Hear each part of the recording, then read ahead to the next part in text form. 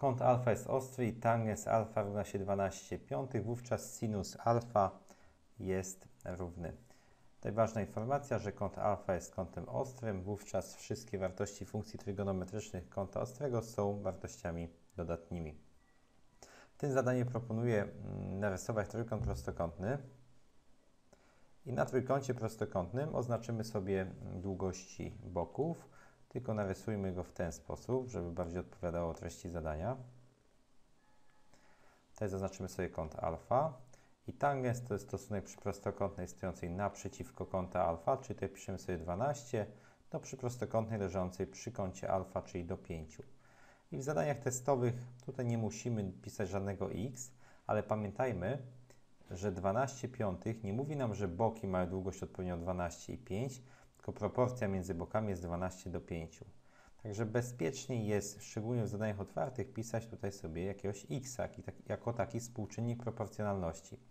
Wówczas liczymy sobie bok c z Pitagorasa oczywiście, czyli mamy 12x do kwadratu dodać 5x do kwadratu daje nam c kwadrat, czyli 144x kwadrat dodać 25x kwadrat daje nam c kwadrat.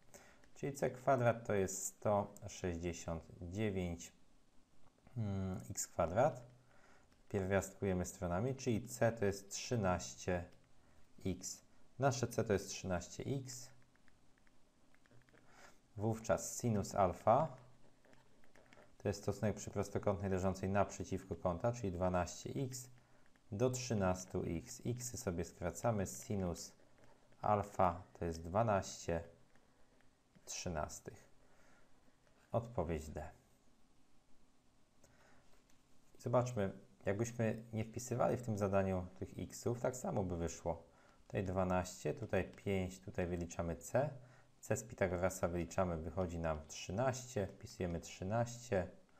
Tutaj kąt alfa, sinus to jest stosunek przy prostokątnej leżącej naprzeciwko kąta alfa do przeciwprostokątnej, czyli 12 13, też odpowiedź D.